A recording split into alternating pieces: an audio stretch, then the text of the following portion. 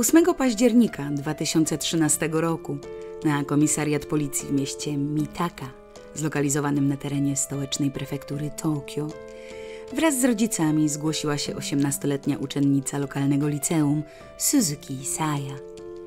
Dziewczyna pragnęła uzyskać pomoc w związku z faktem, że od kilku miesięcy była regularnie nachodzona, śledzona i prześladowana przez swojego byłego chłopaka, który najwyraźniej nie mógł pogodzić się z faktem, że partnerka postanowiła zakończyć ich relacje, aby skupić się na wyborze odpowiedniej dla siebie drogi edukacji oraz rozwijaniu kariery aktorskiej. W tamtym momencie nie miała jednak pojęcia, że już za kilka godzin ponownie stanie twarzą w twarz ze swoim oprawcą, który podejmie niezwykle desperackie kroki, aby raz na zawsze rozprawić się z kobietą, do której, jak twierdził, w dalszym ciągu żywił wyjątkowo głębokie uczucia.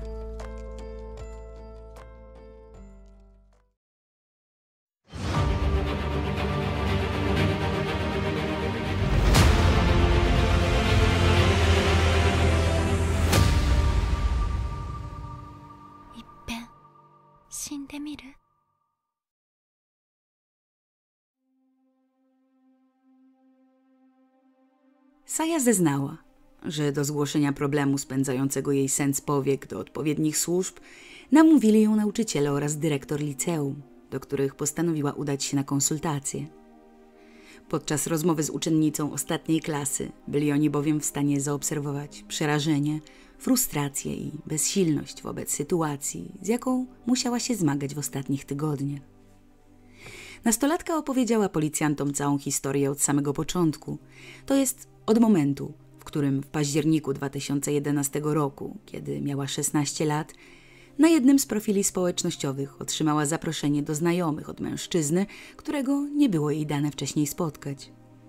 Był nim trzy lata starszy Charles Thomas Ikenaga, student elitarnego Uniwersytetu Ritsumeikan, zlokalizowanego w Tokio. Saya, jako że sama w dalszym ciągu zamieszkiwała w domu rodzinnym w stolicy kraju, Wywnioskowała, że chłopak prawdopodobnie zauważył jej konto przypadkiem podczas korzystania z aplikacji, spodobała mu się i pragnie nawiązać znajomość. Tak jak podejrzewała, w skrzynce odbiorczej znajdowała się wiadomość, w której dziewiętnastolatek zapytał, co u niej słychać i czy nie zechciałaby z nim chwilę porozmawiać. Jako, że licealistce chłopak również wydał się atrakcyjny, postanowiła odpisać. Od tego czasu para niemalże każdego dnia przez miesiąc czatowała ze sobą nie tylko poprzez komunikator internetowy, ale również poprzez maile oraz SMSy, gdyż Charles podał nowej znajomej swój numer telefonu. Następnie, w grudniu, mężczyzna przyjechał do Tokio na pierwsze spotkanie twarzą w twarz i to właśnie ten moment, według słów dziewczyny, można uznać za początek ich bliższej relacji. Nastolatkowie spotykali się regularnie przez pięć miesięcy – aż do kwietnia 2012 roku, kiedy to Saja otrzymała propozycję wyjazdu na roczną wymianę do Stanów Zjednoczonych. Jako, że od zawsze zakochana była w amerykańskiej kulturze, uwielbiała tamtejszą muzykę i filmy, była to dla niej ogromna szansa. W przyszłości marzyła o zostaniu profesjonalną aktorką oraz o dostaniu się na prestiżowy tokijski uniwersytet. Tak więc tego rodzaju wpis w dokumentach zdecydowanie mógłby pomóc w osiągnięciu ustalonych uprzednio celów. Miała jednak świadomość, że jeżeli zdecyduje się skorzystać z okazji, równało się to będzie dla niej z zakończeniem obecnego związku z Charlesem. Nie chciała bowiem czuć się uwiązana, a także kazać chłopakowi czekać na nią przez tak długi okres, podczas którego mógłby znaleźć sobie nową sympatię i to właśnie z nią zacząć układać sobie życie. W związku z tym, na chwilę przed samym wylotem, Suzuki przekazała partnerowi treść podjętej przez siebie decyzji, z czego jak możecie się zapewne domyślać, dwudziesto już letni Ikenaga nie był zadowolony. Za wszelką cenę próbował przekonać dziewczynę do zmiany decyzji, ta jednak pozostała nieugięta i kilka dni później, już jako singielka, wyleciała do Stanów. Do Japonii powróciła w marcu kolejnego roku. Podczas niespełna rocznego pobytu na innym kontynencie, Saja starała się nie odpowiadać na wiadomości, jakie otrzymywała co spowodowało, że z czasem było ich coraz mniej i mniej. Pod koniec wymiany doszła do wniosku, że Charles musiał w końcu przejść nad ich rozstaniem do porządku dziennego. Tak więc, kiedy wsiadała na pokład samolotu powrotnego, nie zastanawiała się już nad tym, czy powinna ponownie spotkać się z byłym partnerem, aby jeszcze raz dosadnie wyjaśnić mu, że do siebie nie wrócą. Starała się skupić na tym, że już za miesiąc rozpoczynała będzie ostatnią klasę liceum, podczas której musi naprawdę skoncentrować się na nauce, jeżeli za rok pragnie startować na wymarzony uniwersytet. Jednak powrót do normalnego życia w Japonii miał okazać się zdecydowanie bardziej skomplikowany. 21-letni już w tamtym czasie Ikenaga, kiedy tylko dowiedział się, że jego była sympatia na stałe osiedliła się ponownie w Tokio, postanowił raz jeszcze zacząć zasypywać ją wiadomościami, w których prosił o spotkanie i danie ich relacji kolejnej szansy. W tamtym momencie nastolatka była jednak pewna, że nic nie czuje już do dawnego adoratora, konsekwentnie komunikując, że musi obecnie skupić się na edukacji i nie planuje wiązać się z nikim na stałe. I chociaż początkowo wydawało się, że mężczyzna zdaje się to rozumieć i akceptować, być może mając nadzieję, że uda mu się z czasem przekonać Saję do zmiany zdania, to kiedy zrozumiał, że na otrzymanie tego, czego chce, nie ma już żadnych szans, jego podejście do tej sprawy zmieniło się o 180 stopni. Jego wiadomości stały się wulgarne i nierzadko zawierały w swojej treści groźby, takie jak wyślij mi swoje zdjęcie albo inaczej się zabiję, czy też jeżeli przestaniesz mi odpisywać, opublikuję twoje nagie zdjęcia i wideo w internecie. Nastolatka obawiała się szczególnie tego drugiego, ponieważ w czasie, w którym para się spotykała, niestety pozwoliła ona Charlesowi na wykonywanie roznegliżowanych fotografii swojej osoby, a także rejestrowanie fragmentów ich zbliżeń na nagraniach. Ostatecznie jawnie groził również licealistce śmiercią. W efekcie w czerwcu 2013 roku załamana osiemnastolatka odpowiedziała o wszystkim swojemu ojcu, który następnie udał się na spotkanie z prześladowcą córki, podczas którego wyraźnie zaznaczył, że ten ma z miejsca przestać komunikować się z Sają, a także stosować wobec niej szantaż emocjonalny, albo w przeciwnym razie rodzina złoży odpowiednie zawiadomienie na najbliższym komisariacie policji. Jednocześnie poradził dziewczynie, aby zablokowała numer telefonu, a także profil mężczyzny na wszystkich portalach społecznościowych, co też ta natychmiast uczyniła. Mając nadzieję, że podjęte przez głowę rodziny Suzuki środki podziałają i Charles przestanie w końcu uprzykrzać jej życie, osiemnastolatka zajęła się swoimi sprawami, oscylującymi głównie wokół nauki oraz próby rozwijania kariery aktorskiej. Jednakże już niedługo miało się okazać, że pozorny Kilkutygodniowy spokój to jedynie cisza przed burzą. Wściekły Ikenaga, nie będąc już w stanie pisać bezpośrednio do swojej ofiary, zaczął wysyłać wiadomości do jej przyjaciół, w których nalegał, aby Saja natychmiast się z nim skontaktowała, albo inaczej pożałuje. Kiedy znajomi pokazali dziewczynie niepokojące treści, poczuła się słabo, jakby po raz kolejny wszystko zaczynało się od nowa. Mimo to postanowiła nie reagować na zaczepki. Starała się również nie przebywać samej poza domem, tak aby, jeżeli mężczyzna zdecyduje się przyjechać do Tokio, aby wymusić na niej rozmowę, zawsze miała przy sobie kogoś, kto robiłby za świadka tego typu wydarzenia. Jednak do momentu kulminacyjnego całej sprawy doszło, kiedy Charles spełnił jedną ze swoich gruźb i podszywając się pod nastolatkę, założył profil na portalu Xvideos zawierającym treści pornograficzne, gdzie też następnie opublikował aż 67 nagich zdjęć oraz filmików z jej udziałem.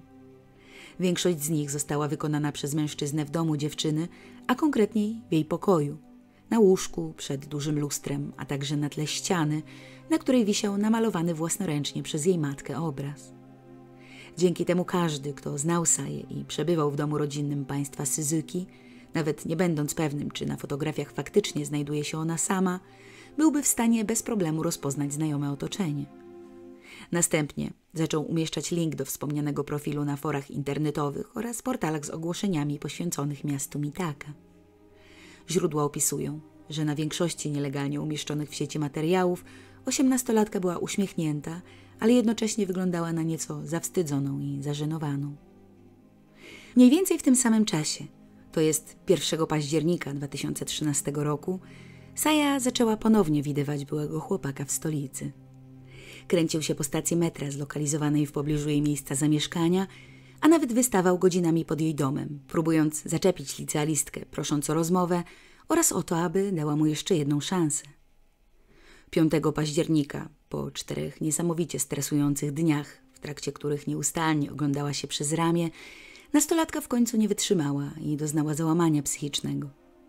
Jako, że przebywała w tamtym momencie na terenie szkoły, zaniepokojeni nauczyciele zaprosili ją do osobnego pokoju na rozmowę, podczas której Saja wyznała im, że od kilku miesięcy jest stalkowana oraz prześladowana przez 21-latkę. Dyrekcja, po przeprowadzeniu rozmowy z rodzicami uczennicy, poradziła, aby ci bezzwłocznie udali się na komisariat policji celem zgłoszenia incydentu, co też, jak wspomniałam na początku dzisiejszego odcinka, uczynili oni zaraz po weekendzie, 8 października z samego rana.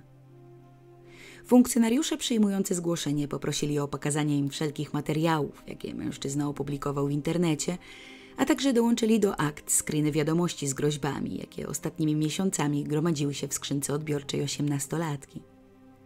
Jako, że według japońskiego prawa policja musi w pierwszej kolejności skontaktować się z domniemanym stalkerem osobiście lub telefonicznie, a według słów Suzuki, Charles od co najmniej tygodnia stale ją nachodził, tak więc prawdopodobnie nie przebywał obecnie w swoim domu w Kyoto, mundurowi poprosili ofiarę o przekazanie im także numeru mężczyzny, aby mogli ostrzec go przed dalszymi konsekwencjami jego działań. Zapewnili dziewczynę, że może spokojnie udać się tego dnia na lekcję, ponieważ mieli zamiar jeszcze tego popołudnia rozmówić się z podejrzanym i wystosować wobec niego oficjalne ostrzeżenie. I tak też zrobili, jednakże pomimo trzykrotnie podjętej próby, żadne z połączeń nie zostało odebrane. W takim wypadku kolejnym krokiem było wysłanie na adres mężczyzny pisemnego ostrzeżenia za potwierdzeniem odbioru, aczkolwiek w tamtym momencie nie podejrzewano nawet, że do wysłania wspomnianego listu nigdy nie dojdzie.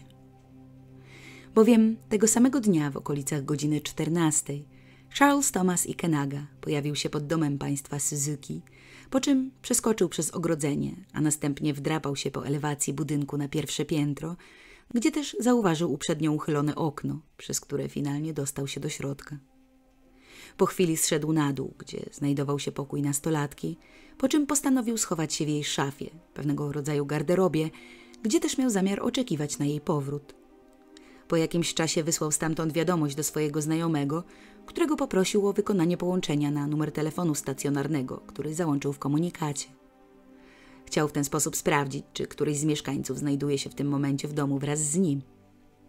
Kolega nie chciał tego robić, podejrzewając, że Charles mógł wplątać się w coś nielegalnego. Ten jednak skłamał, że potrzebuje pomocy, ponieważ schował się w szafie przed partnerem kobiety, z którą przed chwilą uprawiał seks i pragnie jedynie bezpiecznie wydostać się z mieszkania, zanim tamten się zorientuje. Znajomy uwierzył w tłumaczenie 21-latka i wykonał połączenie, upewniając mężczyznę, że jest w budynku zupełnie sam. Około 2,5 godziny później do domu wróciła Saja. Kiedy tylko przekroczyła próg, na jej telefon komórkowy zadzwonił funkcjonariusz policji, aby upewnić się, że jest bezpieczna. Dziewczyna potwierdziła, że właśnie weszła do środka i zamknęła drzwi na klucz, podziękowała za troskę i odparła, że tego dnia nigdzie nie będzie już wychodzić, a niedługo z pracy powinni wrócić także jej rodzice. Nie mogła nawet podejrzewać, że były partner, który przysłuchiwał się całej rozmowie, czai się na nią kilka metrów dalej, uzbrojony w nóż o ostrzu o długości 15 centymetrów. Kilka sekund po tym, jak rozmowa dobiegła końca, o godzinie 16.53, Charles wyszedł z ukrycia i zaatakował kompletnie zdezorientowaną nastolatkę. Kiedy Saja go zobaczyła, natychmiast rzuciła się do ucieczki – jednak zanim zdążyła dobiec do frontowych drzwi, dwudziestojednolatek dźgnął ją dwukrotnie, w brzuch oraz ramię. Mimo to walczącej o życie Suzuki udało się wybiec do ogrodu, a następnie na główną ulicę. Jednak tam oprawca dopadł ją ponownie, zadając kolejne dwanaście ran kutych, głównie w okolice brzucha i szyi, po czym zbiegł z miejsca zdarzenia. Całą sytuację widział przypadkowy przechodzień, który akurat wyprowadzał w pobliżu swojego psa – kiedy zorientował się, czego właśnie był świadkiem, natychmiast podbiegł do nieprzytomnej postaci ubranej w szkolny mundurek, próbując tamować krwawienie, jednocześnie wzywając na miejsce pogotowie i policję.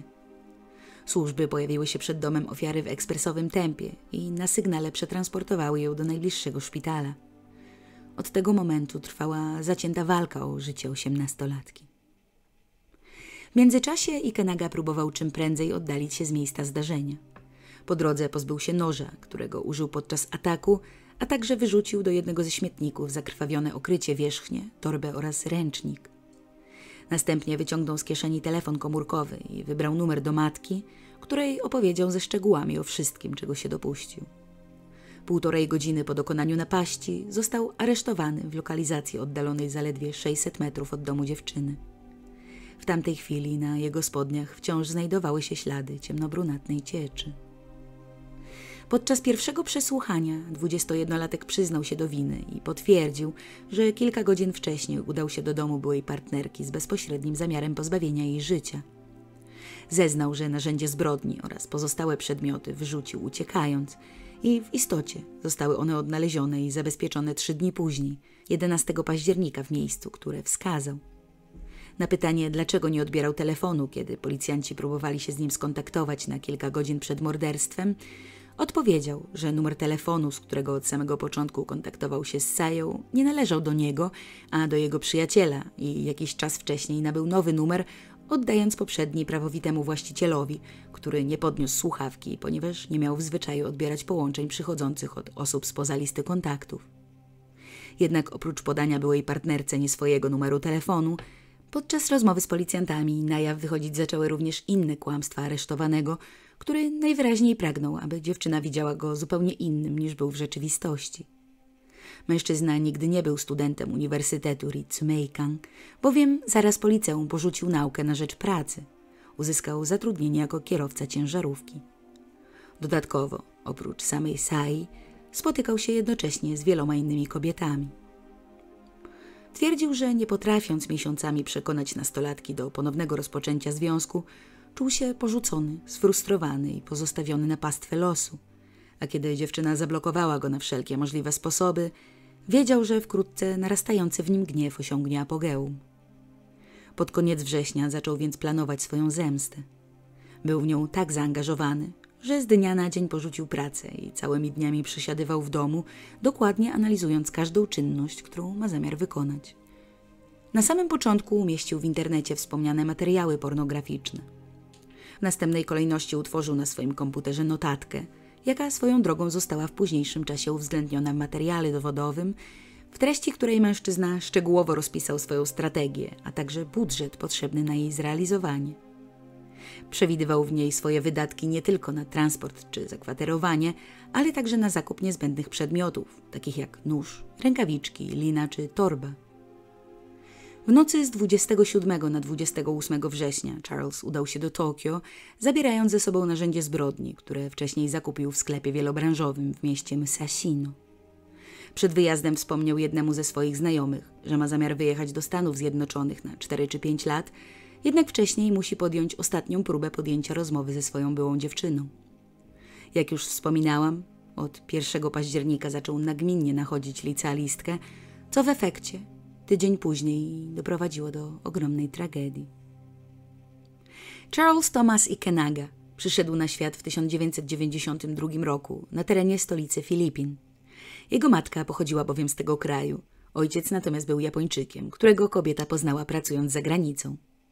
Po urodzeniu syna zostawiła ona go pod opieką swoich rodziców, a sama wróciła do Japonii, gdzie też para zdecydowała się wziąć ślub.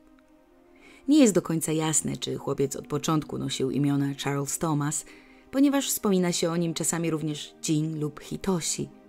Jednakże, jako że w fazie aresztowania posługiwał się on już amerykańsko brzmiącymi personaliami, w dalszej części podcastu ja również będę się o nim tak wypowiadać. Sam Charles ściągnięty został do kraju kwitnącej wiśni w wieku roku i dziesięciu miesięcy. Jednakże, kiedy dziadkowie przekazali go pod opiekę biologicznych rodziców, jego życie zamieniło się w piekło. Matka chłopca pracowała od świtu do zmierzchu w filipińskim klubie jako eskorta, pozostawiając na ten czas syna w żłobku. Jednak po zamknięciu placówki, kiedy odbierał go ojciec, dochodziło do wielokrotnego znęcania się nad kilkulatkiem. Mężczyzna nie ukrywał, że nienawidzi dzieci i często podnosił na syna rękę. Zdarzało się nawet, że, aby nie musieć się nim zajmować, przywiązywał dziecko do łóżka. Małżeństwo pary nie przetrwało jednak zbyt długo i już kiedy Charles miał 4 lata, kobieta weszła w nowy związek z nowym mężczyzną, bezrobotnym alkoholikiem, panem M, jak określany jest w źródłach. Tak więc od tego momentu trzyosobowa rodzina żyła w niedostatku z zaledwie jednej pensji. Jednak co gorsza, Nowy ojczym znęcał się nad pasierbem w nawet większym stopniu niż jego własny ojciec. Ale nie tylko nad nim samym. Na porządku dziennym krzywdził fizycznie i psychicznie również swoją partnerkę. Źródła wspominają o przypalaniu żelazkiem, biciu skórzanym pasem, przypalaniu nosa zapalniczką oraz podtapianiu. Co więcej, człowiek ten był także rasistą. Cały czas podkreślał w jego mniemaniu gorsze pochodzenie kobiety i twierdził, że ona i jej dziecko na nic nie zasługują, bo są Filipińczykami. Z powodu urazów ciała Charles często musiał rezygnować z pójścia do szkoły, w obawie, że ktoś zauważy oznaki znęcania i wpędzi go to w kłopoty. Któregoś razu, kiedy młody Ikenaga trafił do szpitala, jeden z lekarzy zorientował się, co musi dziać się w domu chłopca i skonfrontował ten fakt z jego matką. Jednak kilkulatek tak bardzo bał się pana M, że błagał kobietę, aby nie poruszała tego tematu w domu i po prostu o wszystkim zapomniała. Sam Charles wspominał, że w dzieciństwie wielokrotnie słyszał przez ścianę, jak jego matka i znienawidzony ojczym uprawiają brutalny seks, co wywołało u niego głęboką traumę na lata. W końcu, kiedy chłopiec uczęszczał do piątej klasy szkoły podstawowej, doprowadzona do granic wytrzymałości kobieta postanowiła rozwieść się z przemocowym partnerem i mężczyzna został zmuszony do opuszczenia domu. Nastolatek odetchnął z ulgą. Miał bowiem nadzieję, że od tej pory jego gehenna dobiegnie końca i będzie mógł prowadzić normalne, spokojne życie jak inni jego rówieśnicy. Niestety w tamtym momencie nie mógł on jednak przypuszczać, że jego matka bardzo szybko znajdzie sobie nowego partnera, który, podobnie jak poprzedni, również pochodził będzie z marginesu społecznego. Tym razem wątpliwy wybór kobiety padł na członka japońskiej mafii, Yakuzy. Jak możecie się zapewne spodziewać, tego typu persona nie miała okazji przekazać chłopcu pozytywnych wzorców, wręcz przeciwnie. Uderzanie, kopanie i przemoc werbalna były na porządku dziennym. Pewnego razu Charles został również zmuszony przez mężczyznę do obserwowania, jak uprawia z jego matką seks, aby w ten sposób pokazać dziecku, jak ogromną władzę człowiek ten posiada nad jedyną tak naprawdę bliską mu osobą. Nie oznaczało to jednak, że pozostający w stałej relacji z kobietą kryminalista nie znęcał się również nad nią samą. Traktował ją nawet gorzej niż jej syna. Pewnego razu uderzył ją szklaną butelką w twarz tak mocno, że, jak twierdził sam chłopiec, mając podbite oboje oczu w tym samym momencie, nieco przypominała pandę. Nieco starszy już Ikenaga wielokrotnie doradzał rodzicielce, aby odeszła od swojego oprawcy i spróbowała ułożyć sobie życie w pojedynkę. Uważał bowiem, że zdecydowanie byłoby jej lepiej samej, niż będąc wiecznie poniżaną przez każdego kolejnego adoratora. I były takie momenty, kiedy kobieta faktycznie zrywała z mężczyzną i na kilka dni uciekała z domu, jednakże manipulant każdorazowo odkrywał jej tymczasowe miejsce pobytu, przepraszał, obiecywał, że się zmieni i następnie przez kilka dni zachowywał się niczym do rany przyłóż. Nie bez znaczenia był również fakt, że jako członek Jakuzy przynosił do domu spore ilości gotówki, co w odniesieniu do poprzednich, bezrobotnych partnerów matki chłopca było ogromną odmianą. Ostatecznie w ciągu dwóch lat do tego typu sytuacji dochodziło siedem razy. Z późniejszych zeznań wynikało, że pani Ikenaga decydowała się na powrót do kochanka, ponieważ miała świadomość, że mafiozi to bardzo niebezpieczni ludzie i obawiała się, że gdyby tego nie zrobiła, ją samą lub też jej syna mogłoby spotkać coś złego.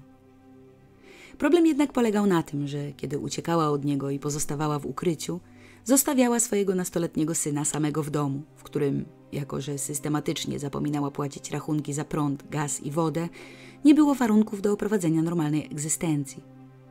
Charles wielokrotnie zmuszany był do mycia się w zimnej wodzie we wspólnej łazience znajdującej się w piwnicy budynku, prosić okolicznych właścicieli marketów o przeterminowane pozostałości z dnia poprzedniego, a także, kiedy było mu zimno, owijał się grubym kocem, ogrzewając od świec, które porozstawiał po domu, aby po zmroku móc cokolwiek widzieć.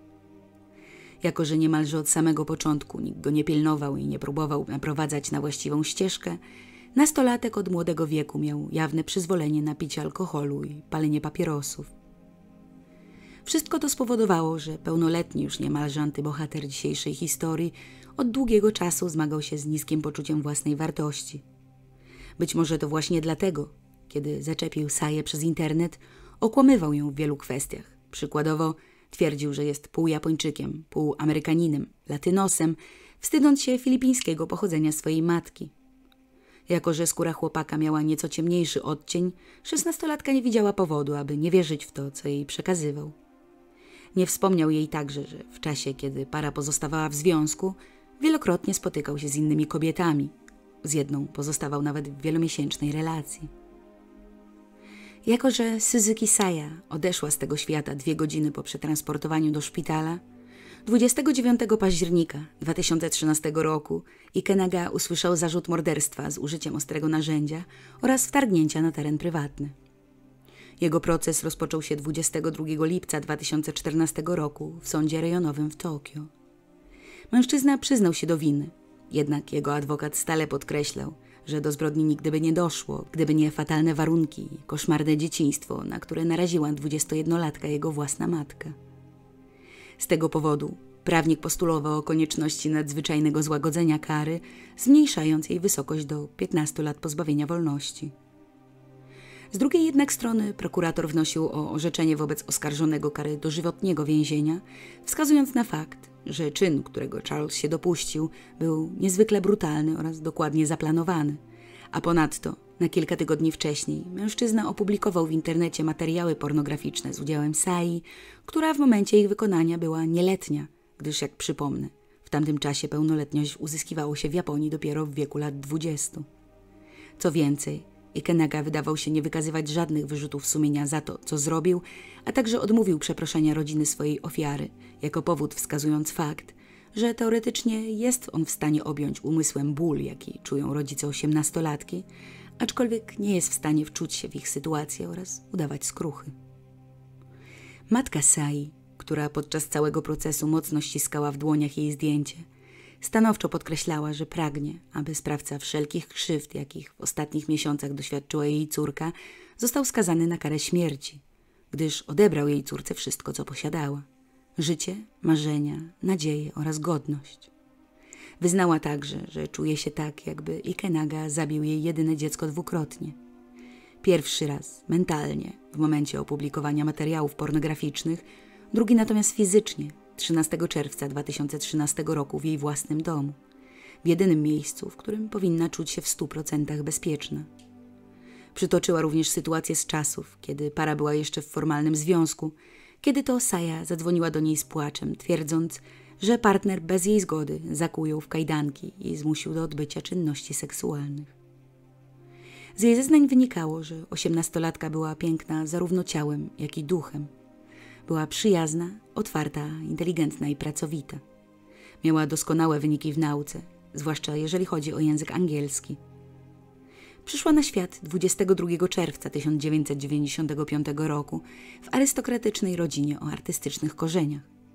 Jej pradziadkiem był bowiem sam Takamatsu Jiro, jeden z najważniejszych powojennych artystów japońskich, który wykorzystywał fotografię, rzeźbę, malarstwo, rysunek i performance do fundamentalnego zbadania filozoficznych i materialnych warunków sztuki. Wujek dziewczyny, Kuramoto Satoshi, był znanym i poważanym scenarzystą i dramaturgiem. Jej matka natomiast od wielu lat, ze względu na posiadany talent plastyczny, profesjonalnie zajmowała się malarstwem. Nic więc dziwnego, że wychowując się w gronie tak znamienitych osobistości, Saja zamarzyła o pójściu w ślady swoich przodków i zapragnęła zostać aktorką. Matka zapisała więc dziewczynkę na specjalne zajęcia dodatkowe, gdzie jej talent i determinacja szybko zostały dostrzeżone. I będąc w piątej klasie szkoły podstawowej, dziecko, za zgodą rodziców, podpisało kontrakt z niewielką wytwórnią filmową, która od tamtego czasu oferowała mu liczne współprace przy kręceniu reklam, seriali, a nawet pełnometrażowych filmów. Suzuki zagrała bowiem w produkcji Tsumetai Heia, czyli Zimny Pokój w reżyserii Hiraty Daisuke z 2010 roku, opowiadającym o życiu byłej baletnicy, która zostaje poproszona o zastępstwo za niedysponowanego instruktora w szkole baletowej w Tokio. Oprócz aktorstwa, Saja interesowała się również grą na fortepianie, tańcem oraz rysunkiem, ponieważ, podobnie jak jej mama, posiadała talent plastyczny. Jak już wcześniej wspominałam, kochała amerykańską kulturę, głównie filmy i muzykę. Tak więc, będąc w liceum, podjęła decyzję, że jeżeli nie uda jej się zostać profesjonalną aktorką, postara się otrzymać miejsce na kierunku anglistyka na jednym z prestiżowych tokijskich uniwersytetów. Podczas wymiany w Stanach Zjednoczonych, aby tamtejszym mieszkańcom było łatwiej wymówić jej personalia, postanowiła używać pośród znajomych amerykańsko brzmiącego imienia Sami. Mierzyła 161 cm wzrostu i ważyła 45 kg. Była zadbana i wysportowana, gdyż często wstawała wcześniej, aby udać się na poranny jogging. Matka ze łzami w oczach wspominała również, że jej córka była nieco pedantyczna, ponieważ nie potrafiła odpoczywać, kiedy wokół niej nie panował idealny porządek, a wszystko nie znajdowało się na swoim miejscu. Podczas pierwszego procesu w sprawie Suzuki Sai zeznawał również jeden z profesorów Uniwersytetu Prefektury Yamanashi, Nishizawa Tetsu, którego poproszono o dokonanie analizy psychologicznej oskarżonego. Finalnie mężczyzna ten przedstawił swoje wyniki, według których przemoc, jakiej doświadczał w dzieciństwie Ikenaga, w znacznym stopniu zniekształciła jego osobowość. Czuł się wyraźnie opuszczony przez matkę, której miłości tak bardzo w tamtym czasie potrzebował. Ta jednak, zamiast zwrócić uwagę na jego potrzeby oraz bezpieczeństwo, co róż znajdowała sobie kolejnego przemocowego partnera. Według świadka, będąc kochanymi przez rodziców, dzieci rozwijają poczucie zaufania i miłości oraz kształtują samego siebie. Próbują obdarzyć innych miłością, ponieważ znają radość wynikającą z bycia kochanym. Jednakże kiedy, podobnie jak Ikenaga, dziecko zostaje porzucone przez rodzica i wielokrotnie doświadcza przemocy ze strony swoich opiekunów, nie jest w stanie doświadczyć tego rodzaju pozytywnego uczucia, które następnie mógłby przenieść na inne osoby w przyszłości. Nie jest w stanie wczuć się w emocje i przeżycia innych członków społeczeństwa – co mogło potwierdzać słowa oskarżonego, że nie potrafi do końca zrozumieć sytuacji, w jakiej postawieni zostali rodzice ofiary. Do tego dochodził kryzys tożsamościowy. Jako mały chłopiec Charles wielokrotnie się przeprowadzał. Nie czuł więc, że gdzieś przynależy, nie wiedział do końca, gdzie znajduje się jego dom, ponieważ sytuację panującą w jego miejscu zamieszkania ciężko było nazwać domem lub też rodziną w pozytywnym tych słów znaczeniu. Oskarżony desperacko poszukiwał miłości, której nie otrzymał od swojej matki. Tak więc, kiedy wszedł w związek z Sają, próbował ze wszystkich sił ją przy sobie zatrzymać. Twierdził, że czuł się tak, jakby rozstanie miało być równoznaczne z tym, że on sam zniknie. Często popadał w depresję, bał się, że w każdej chwili może umrzeć. Właśnie to mogło spowodować, że w tak ogromnym stopniu walczył o podtrzymanie relacji z dziewczyną, nawet jeżeli miało to oznaczać grożenie jej, nachodzenie i jawne prześladowanie. Profesor poruszył także kwestię podawania się oskarżonego za kogoś, kim w rzeczywistości nie był. Według niego Charles miał obsesję na punkcie tego, w jaki sposób widziany jest oczami innych osób. Chciał postawić się w jak najlepszym świetle, ponieważ według siebie samego był nikim. Nie wierzył w swoje możliwości, nie potrafił zaakceptować tego, kim jest naprawdę, jednocześnie nie mogąc pogodzić się z tym, że pewnych rzeczy, przykładowo swojego pochodzenia, nie jest w stanie zmienić. Proces przed sądem pierwszej instancji zakończył się 1 sierpnia 2014 roku. Sędzia Masahiko skazał antybohatera dzisiejszej historii na 22 lata pozbawienia wolności. Prowadzący rozprawę zaznaczył, że rozumie, iż Ikenaga chował urazę do swojej ofiary, ponieważ kolejny raz w swoim życiu odczuwał ból związany z utratą czegoś istotnego i myślał, że ten fakt przeczy jego istnieniu. Jednakże równocześnie uargumentował podjętą decyzję tym, że Motyw zbrodni był niezwykle egoistyczny i pozostawia niewiele miejsca na współczucie. Dodał, że podjęcie pościgu za uciekającą, przerażoną nastolatką było szczególnie okrutne i tchórzliwe, opublikowanie niestosownych materiałów z jej udziałem tuż przed dokonaniem zbrodni haniebne i odrażające. Zarówno prokuratura, jak i obrona zdecydowała się na odwołanie od orzeczonego wyroku. Adwokat mężczyzny twierdził, że w jego opinii nie uwzględniono w wystarczającym stopniu niezwykle ciężkiego życia sprawcy, a także tego, że jest on bardzo młody i istnieje spora szansa na jego resocjalizację. Sąd drugiej instancji nie zgodził się jednak z tego typu tłumaczeniem i początkowo orzekł, że podtrzymuje orzeczoną przed kilkoma tygodniami decyzję sądu niższej instancji, jednak po pewnym czasie z uwagi na błędy, które wystąpiły w trakcie przebiegu procesu, zadecydowano o konieczności ponownego rozpatrzenia sprawy. W międzyczasie prokuratura prowadziła działania mające na celu obciążenie mężczyzny dodatkowymi zarzutami dotyczącymi naruszania ustawy o przeciwdziałaniu prostytucji dziecięcej oraz pornografii, co ostatecznie zrobiono i podczas kolejnej rozprawy, gdyby Ikenaga został okrzyknięty winnym, maksymalna kara, jaką mógłby otrzymać, wynosiłaby 25 lat więzienia, na czym zarówno rodzinie, jak i oskarżycielowi bardzo zależało. Wiązało się to jednak z faktem, iż za drugim razem, przeciwieństwie do pierwszej rozprawy, na której jako dowód przedstawiono zaledwie dwa roznegliżowane zdjęcia nastolatki, skład sędziowski oraz ławników zapoznano ze wszystkimi materiałami, jakie Charles umieścił w sieci. Wspomina się, iż wiele z tych fotografii przedstawiało zbliżenie jej genitaliów, co powodowało, że rodzina dziewczyny czuła się z tym faktem niezwykle niekomfortowo. I Kenaga tłumaczył, że dopuścił się tego czynu, ponieważ pragnął pokazać wszystkim dowód na to, że para się spotykała, że przed samym sobą chciał udowodnić, że to wszystko było prawdziwe, realne.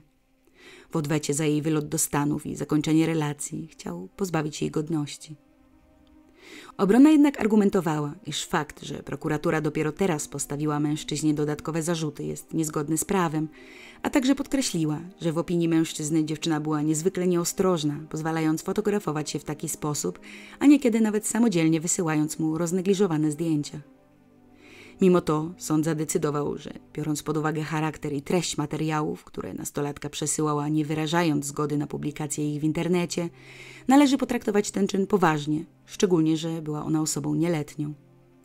Oburzenie japońskiej społeczności w stosunku do jego działania było bowiem ogromne i należało w odpowiedni sposób zareagować, dając do zrozumienia każdemu, kto w przyszłości dopuściłby się zjawiska zwanego potocznie pornografią zemsty, że nie pozostanie bezkarny i za dzielenie się z całym światem czyimiś bardzo osobistymi zdjęciami i filmami bez ich zgody grożą poważne, realne konsekwencje. Ostatecznie 16 marca 2016 roku, podczas drugiego procesu prowadzonego od samego początku, Charles Thomas Ikenaga został ponownie skazany na 22 lata pozbawienia wolności.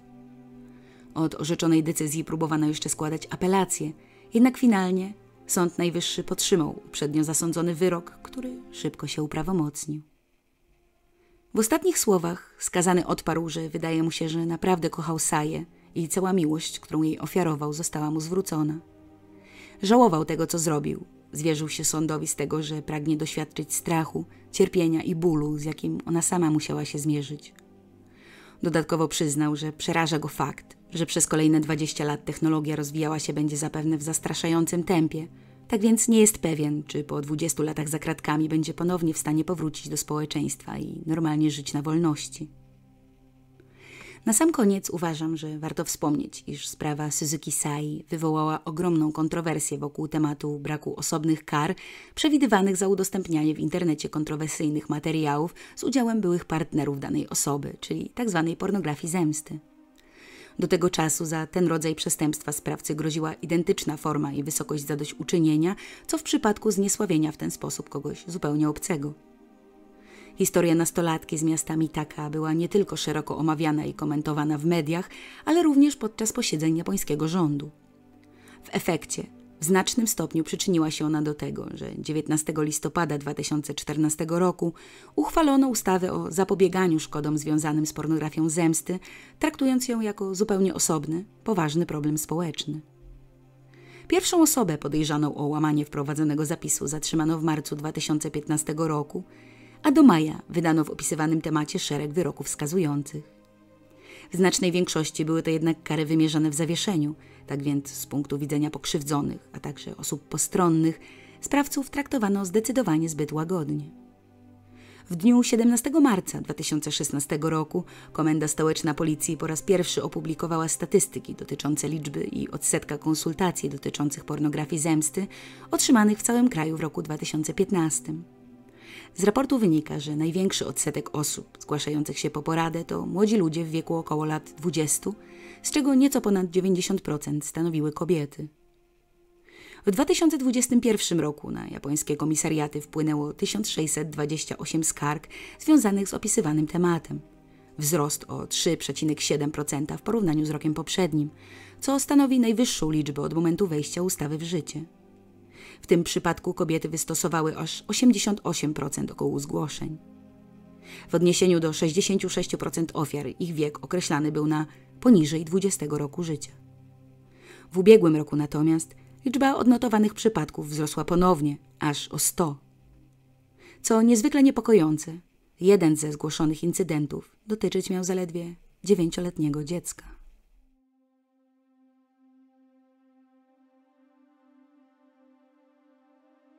Cześć! Z tej strony Sinami z kanału Japonia w ramionach zbrodni. Witam Was ponownie na moim kanale i dziękuję za zainteresowanie dzisiejszym odcinkiem. Chciałabym serdecznie powitać wszystkie osoby, które dołączyły do moich subskrybentów w ostatnim czasie. Bardzo mi miło. Dziękuję również za wszystkie łapki i komentarze, które zawsze bardzo miło mi się czyta. No, mi i mojej mamie, ponieważ ona również śledzi z zapałem wszelkie wpisy. Skorzystam dzisiaj z okazji i przypomnę, że jakiś czas temu założyłam kanałowego Instagrama. Nazwa to po prostu Japonia w ramionach zbrodni, pisane razem. Jeżeli macie ochotę, możecie go zaobserwować. Mam zamiar wrzucać tam różne treści związane z true crime, Japonią, czasem może jakąś prywatę od siebie. Dla osób pragnących wspomóc moją pracę, wspomnę nieśmiało o moim koncie na Patronite, możliwości postawienia wirtualnej kawki lub też wsparcia poprzez portal YouTube. Ale przypominam, jest to opcja jedynie dla tych osób, którym te wszystkie pieniądze już wysypują się garściami z kieszeni i nie wiedzą, co mają z nimi zrobić. Wszystkie linki w opisie. Tydzień temu wspominałam Wam także, że niedługo przyjedzie do mnie moja nowa, czwarta żabka i, i już jest. Poznajcie Becky albo Bekona. Jeszcze nie wiemy, z jaką płcią żabka się identyfikuje. Bardzo spodobała mi się ta sugestia imienia zawarta w komentarzu, dlatego też postanowiłam ją sobie przywłaszczyć. Dziękuję serdecznie. Póki co maluch jest jeszcze trochę nieśmiały i osowiały ze względu na przeprowadzkę, ale chyba dobrze czuje się w towarzystwie Karla i wnusi. Często siedzą sobie razem w misce z wodą i chillują. A na dziś to wszystko, kochani. Pozwólcie, że prześlę jeszcze wirtualne całusy i tulasy moim patronom, których lista wyświetla się obecnie na ekranie. Życzę Wam wszystkim dobrego dnia i do usłyszenia jak najszybciej będzie to możliwe. Ja, mata ne? Bye bye.